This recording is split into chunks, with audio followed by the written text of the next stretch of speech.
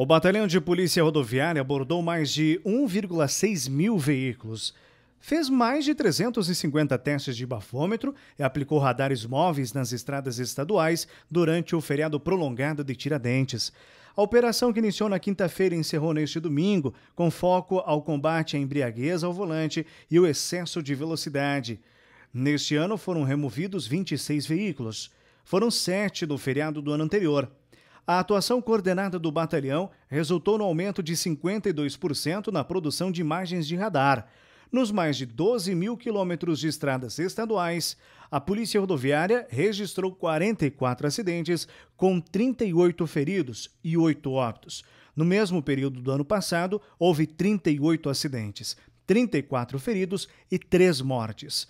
A unidade também atuou com orientações aos motoristas, com campanhas educativas para conscientizar as pessoas a reduzirem a velocidade nas estradas.